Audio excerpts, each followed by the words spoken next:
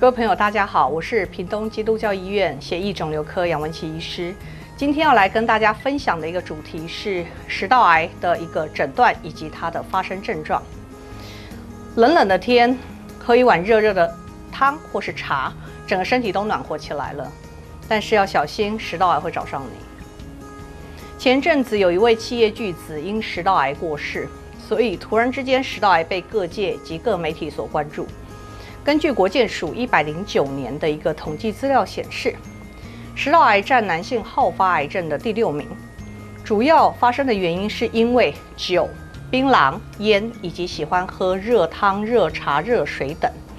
另外，长期的一恰生，就是胃食道逆流，也会造成食道癌发生的原因之一。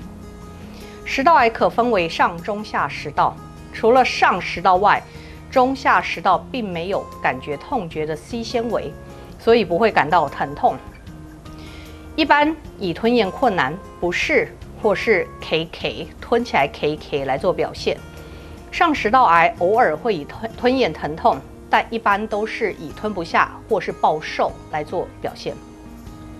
食道癌可大致分为鳞状上皮细胞细胞癌以及腺癌。以台湾的资料，超过百分之九十九。